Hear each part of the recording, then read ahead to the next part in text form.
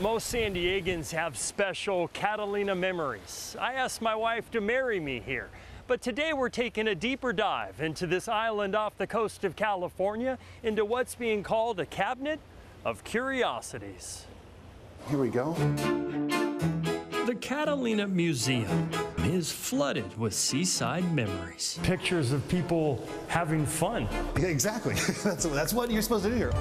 This little island off the coast of Los Angeles is famous for famous faces. Marilyn Monroe, she lived here during World War II briefly. To celebrate the museum's 70th anniversary, Welcome to our cabinet of curiosities.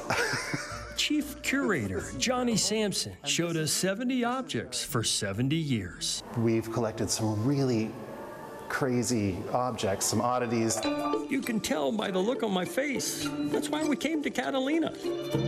Item number one underwater paintings by Francis Lauterbach. Because in 1895, we invented the glass bottom boat here on the island, and so she's painting some of these from looking through the glass bottom boat. Catalina invented the glass bottom boat? The boat isn't here, but this fish is. Item number 39, a yellowtail caught in 1909. But I believe this was caught by George S. Patton Jr., The general? the general. Pretty crazy, right? So, yeah, I mean, Catalina. You guys are. I, I keep, I, yeah. Pound, pound, pound your chest. Yes, Catalina. You'd be flexing your muscles too if you had item 42, the first letter ever mailed from the west to east coast. Item 34, a newsreel from 1924 of Emily Parker. She's painting the fish. She's doing actual skin taxidermy. I love her face right here. She's so proud of herself. Look at that. I love it. Just like Catalina is proud of its many trophies for bird competitions. What is going on? What is that? I'm not kidding. It's, it's really the, the birds. There's a speaker above you. An overhead speaker made me feel like I was going cuckoo. Now that was curious.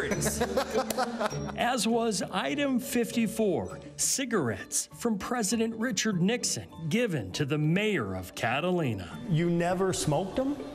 Uh, no, no. I mean, they're still sealed. Nixon's autograph pen, matches, and cigarettes caught the eye of Allison LeCount. What manufacturer made them is what I'm interested in. The hidden treasures of Catalina.